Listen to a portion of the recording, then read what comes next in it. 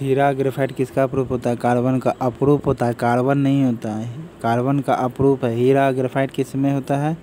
अरे हीरा ग्रेफाइट का अप्रूप कौन है? कार्बन होता है। हीरा ग्रेफाइट किसका अप्रूप है? कार्बन का। हीरा ग्रेफाइट किसका अप्रूप है? कार्बन का। हीरा ग्रेफाइट किसका अप्रूप है? कार्बन का। हीरा ग्रेफाइट जो कार्बन का अप्रूप है, लेकिन कार्बन नहीं होता इसमें। कार्बन का अप्रूप है, लेकिन कार्बन नहीं होता। हीरा ग्रेफाइट, ओके? ही किसमें कार्बन नहीं होता, हीरा में होता नहीं है, कार्बन में होता नहीं है, ठीक, भले ग्रेफाइट में होता नहीं है, कोयला में भी कार्बन नहीं होता है तो इनमें से कोई नहीं होगा, ठीक है? कार्बन किसमें नहीं होता है? तो हीरा में नहीं होता है, कोयला में भी नहीं होता है, ठीक है? हीरा ग्रेफाइट जो है आपका कार्बन का अप्रूप है, लेकिन कार्बन होता नहीं है। कार्बन का अप्रूप है, लेकिन कार्बन होता नहीं है हीरा ग्रेफाइट में। ओके? इस पहला थ्री या फोर सही होगा। क्यों? क्योंकि देखिए, हीरे के बारे में एक इसे प्रकाश प्रावर्तित करने की इसकी योग्यता होती है। इसमें क्या होती है? प्रकाश प्रावर्तित करने की योग्यता होती है। हाँ होती है। विद्युत का सुचालक नहीं होता है। हीरा क्या होता है? प्रकाश परावर्तित करने की योग्यता होती है। प्रकाश परावर्तित करती है, परावर्तित करती है। इसका अपवर्तनांक अधिक होता है, इसलिए ज्वेलरी में यूज़ किया जाता है। अपवर्तनांक अधिक होता है हीरा का, इसीलिए ज्वेलरी में यूज़ किया जाता है। यह प्रकाश को परावर्तित करती है। इसे कांच संगमरमर का पत्थर या अन्य कठोर पदार्थ को काटने के लिए प्रयोग किया जाता है।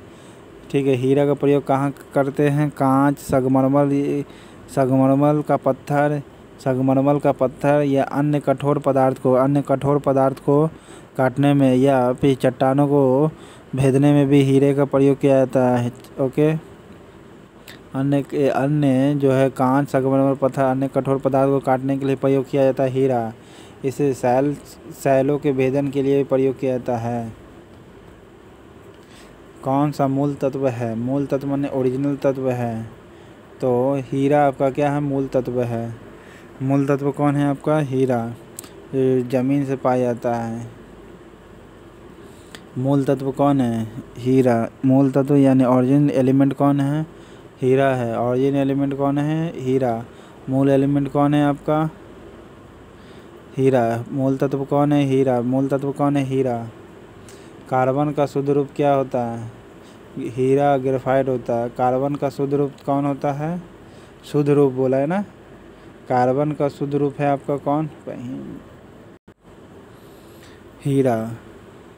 कार्बन का शुद्ध रूप है हीरा, लेकिन कार्बन होता नहीं है, और ये कार्बन का अपरूप है। सबसे सख्त कौन होता है? हीरा। सबसे सख्त प्लेटिनम क्वार्ट्स ये सब की तुलना में सबसे सख्त कौन होता है? हीरा। सबसे सख्त होता है कौन? हीरा। सबसे सख्त कौन होता है? हीरा। सबसे ठोस कौन होता है? सबसे हार्ड कौन होता? है हीरा। प्लैटिनम के तुलना में भी हार्ड होता। है हीरे के संबंध में कैरेट क्या होता? है भार होता। है हीरे के संबंध में कैरेट क्या होता? है भार होता। है हीरे के संबंध में क्या होता है? भार होता। है हीरे के संबंध में कैरेट क्या होता? है कैरेट क्या होता? है कैरेट भार है। कैरेट क्या है? वेट है। कैरेट क्या होता? है वेट होता है। ठीक है, हीरे के संबंध में। कौन सा कार्बन का एक रूप नहीं है? कार्बन का अपरूप, कार्बन का रूप नहीं होगा। हेमाटाइट नहीं होगा। कार्बन का एक रूप नहीं है कौन? हेमाटाइट। कार्बन का एक रूप नहीं है कौन? हेमाटाइट। कार्बन का अपरूप कौन नहीं? हेमाटाइट है। कार्बन का एक रूप नहीं है कौन? हेमाटाइट है। कार्बन का एक रूप नहीं है कौन? हेमाटाइट है। कार्बन का एक रूप नहीं है, कौन हेमाटाइट है? बाकी कार्बन का रूप है। काजल, ग्रेफाइट, चारकोल, ये सब क्या है? कार्बन का रूप है। कौन सा विद्युत तथा उष्मा का अच्छा सुचालक है? ग्रेफाइट होगा। कौन होगा? ग्रेफाइट होगा।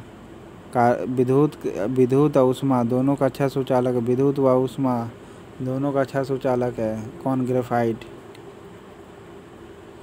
ओके हीरा ग्रेफाइट क्या है? कार्बन का अप्रूप है। हीरा ग्रेफाइट है कार्बन का अप्रूप है। किसको पेंसिलों में प्रयुक्त किया जाती है? ग्रेफाइट का। किसको पेंसिल का यूज़ किया जाता है? पेंसिल में यूज़ किया जाता है ग्रेफाइट का। ओके बल्कीकरण के लिए प्रयोग करते गंधक के साथ गर्म करना। शुष्क सेल की धनात्मक क्षर कैसी होती है? ग्रेफाइट की। शुष्क सेल की धनात्मक क्षय होती कैसी? ग्रेफाइट की। शुष्क सेल की धनात्मक क्षय कैसी होती है? ग्रेफाइट की। सूक्ष्म सेल की धनात्मक क्षर है। ग्रेफाइट की होती है सूक्ष्म सेल की। सूक्ष्म सेल की धनात्मक क्षर है। सूक्ष्म सेल की धनात्मक क्षर है। सूक्ष्म सेल की धनात्मक क्षय होती है। ग्रेफाइट की सूक्ष्म सेल की धनात्मक क्षय होती है कैसी? ग्रेफाइट की होती है सूक्ष्म सेल की धनात्मक क्षय क्या होती है? ग्रेफाइट की। कौन सा अच्छा स्नेहक है? अच्छा स्नेह कौन होता है? ग्रेफाइट चूर्ण अच्छा स्नेह कौन है? ग्रेफाइट चूर्ण अच्छा स्नेह कौन होता है? ग्रेफाइट चूर्ण अच्छा स्नेह कौन होता है? ग्रेफाइट चूर्ण अच्छा स्नेह कौन होता है? ग्रेफाइट चूर्ण अच्छा चूर्ण किस, क्या होता है? कौन होता है? ग्रेफाइट चूर्ण अच्छा स्नेह होता कार्बन, हीरा। ये क्या है आपका कार्बन भले ये हीरा और ग्रेफाइट आपका कार्बन का प्रूफ है। न्यूक्लियर रिएक्टर में प्रयोग किया जाने वाला विमंदक किस चीज़ का होता है? ग्रेफाइट का चूर्ण। न्यूक्लियर रिएक्टर में, न्यूक्लियर रिएक्टर में विमंदक का कार्य कौन करता है? विमंदक का कार्य विमंदक चूर्ण करता है, ग्रेफाइट चूर्ण करता है। विमंदक का कार्य कौन करता है? ग्रेफाइट का चूर्ण, ग्रेफाइट का चूर्ण, ग्रेफाइट का चूर्ण करता है। विमंदक विमंदक का कार्य कौन करता है? न्यूक्लियर रिएक्टर में विमंदक का कार्य कौन करता है? ग्रेफाइट का चूर्ण। न्यूक्लियर रिएक्टर में विमंदक का कार्य कौन करता है? ग्रेफाइट का चूर्ण। न्यूक्लियर रिएक्टर में ग्रेफाइट का चूर्ण है, जो विमंदक का कार्य करता है। अच्छा स्नेहक भी होता है। ग्रेफाइट चूर्ण जो होता है, एक अच्छा स्नेहक माना जाता है। यूरेनियम का चूर्ण अति न्यूक्लियर में किया जाता है, ठीक है। जबकि विबंधक, यूरेनियम का चूर्ण यूज़ किया जाता है न्यूक्लियर में, जबकि विबंधक के रूप में ग्रेफाइट चूर्ण का यूज़ किया जाता है। विबंधक के रूप में न्यूक्लियर रिएक्टर में किसका प्रयोग किया जाता है? ग्रेफाइट चूर्ण का। रेडियो कार्बन डेटिंग से किसका निर्धारण किया जाता है? रेडियो कार्बन डेटिंग से जीवाश्मों की, रेडियो कार्बन डेटिंग है, radio carbon dating, radio carbon dating, radio carbon dating से किसका निर्धारण किया जाता है? जीवाश्म की आयु का। जीवाश्म की आयु का। रेडियो कार्बन डेटिंग से किसका निर्धारण किया जाता है? जीवाश्म की आयु का। रेडियो कार्बन डेटिंग से किसका निर्धारण किया जाता है? जीवाश्म की आयु का। लेकिन रेडियम ड्यूट और यूरेनियम कार्बन डेटिंग से पृथ्वी की आयु का ज्ञात किया जाता है। और रेडियो कार्बन डेटिंग से जीवाश्म की आयु याद करते हैं। रेडियो कार्बन डेटिंग से, रेडियो कार्बन डेटिंग से, जो सी फोर्टीन का यूज़ किया जाता है। कच्ची चीनी को रंग विहीन करने हेतु किया जाता है किसका? एनिमल चारकोल का। एनिमल चारकोल का। कच्ची चीनी को रंग विहीन करना है। कच्ची चीनी को रंग विहीन, कच्ची चीनी को रंग विहीन करना है। कच्ची चीनी को रंग विहीन करना है तो एनिमल चारकोल का। Animal charcoal animal charcoal animal charcoal होगा। ठीक है? एनिमल एनिमल, ठीक है, एनिमल चारकोल का प्रयोग होता है। कच्ची चीनी को रंग विहीन करना तो किसका प्रयोग करेगा? एनिमल चारकोल का। कच्ची चीनी की, के रंग विहीन करना तो किसका प्रयोग करना होगा? एनिमल चारकोल का। कच्ची चीनी को रंग विहीन करना है तो किसका प्रयोग करना होगा? एनिमल चारकोल का। कच्ची चीनी को रंग विहीन करना है तो किसको यूज़ करना होगा? एनिमल चारकोल का। रक्त तप्त कार्बन पर जल वाष्प प्रवाहित करने पर क्या प्राप्त होता है? जल गैस प्राप्त होता है। अभी बताए थे एकदम लाल तप्त लो, कार्बन है, ओके? और उस पर जल वाष्प प्रवाहित कर देते हैं। क्या करते हैं? वेपरेटेड जल वाष्प इस पर प्रवाहित करते तो क्या निकलता है? जल गैस निकलता है। कौन निकलता है? जल गैस निकलता है।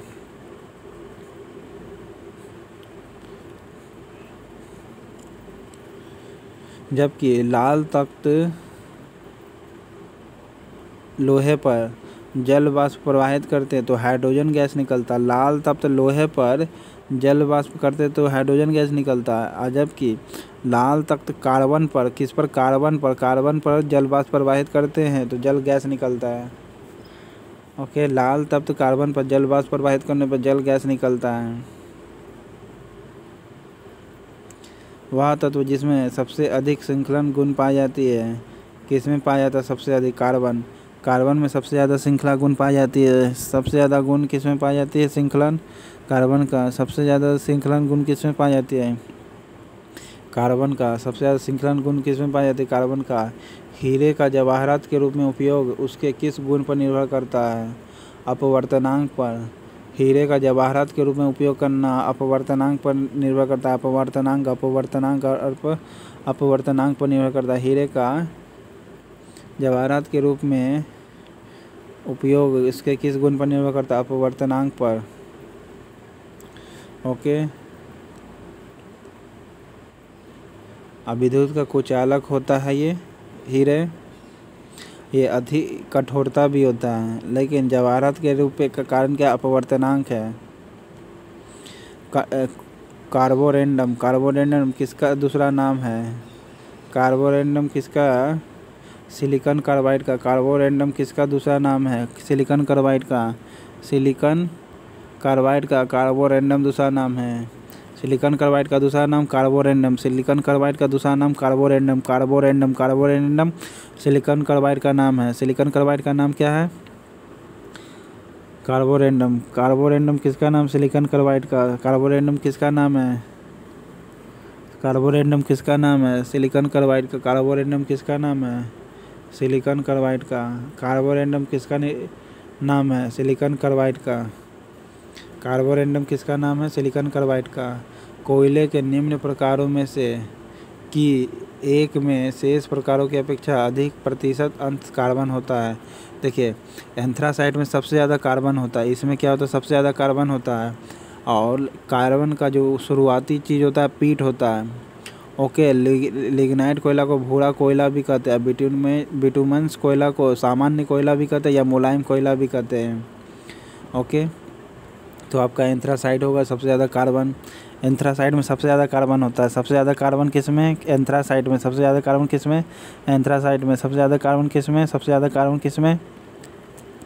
एंथ्रासाइट में, सबसे ज़्यादा कार्बन किसमें होता है? एंथ्रासाइट में। मुलायम कोयला कौन होता है? बिटुमनस कोयला है। लिग्नाइट कोयला भोरा कोयला कहलाता है। कोयला का शुरुआती रूप पीट होता है। किसको भूरा कोयला कहा जाता है?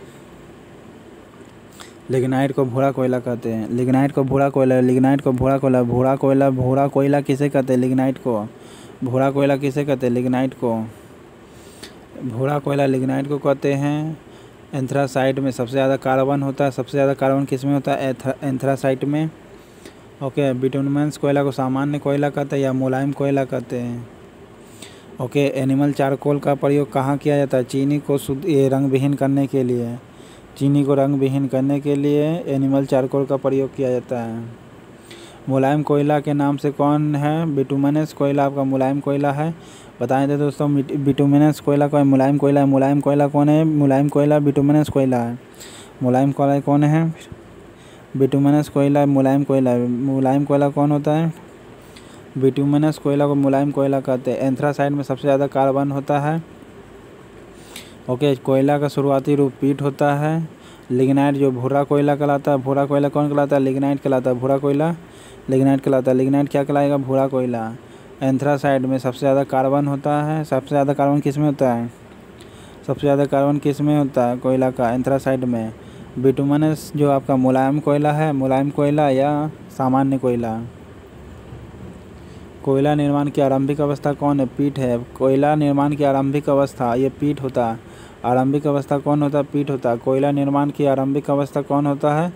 पीठ होता है। ओके। सबसे ज़्यादा कार्बन किसमें होता है? एंथ्रासाइट में।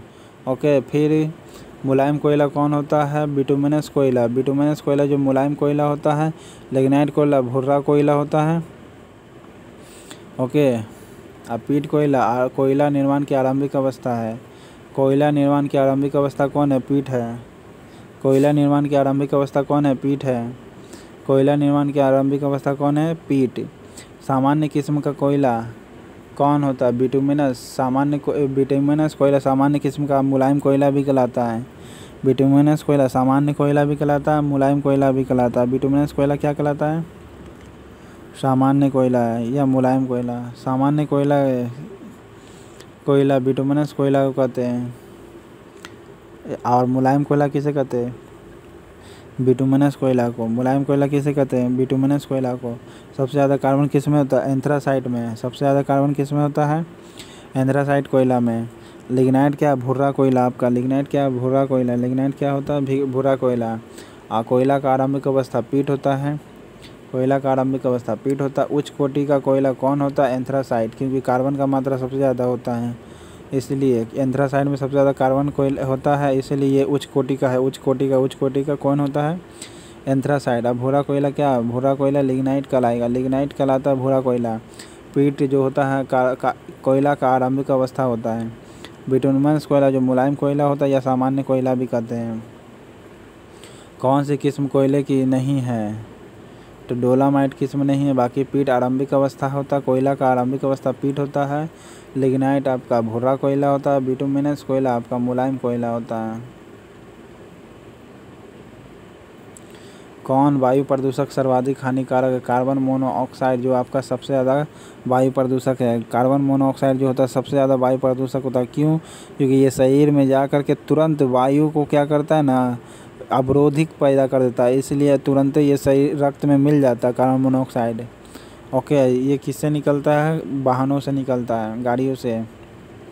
तो कौन वायु प्रदूषक सबसे हानिकारक? Carbon monoxide.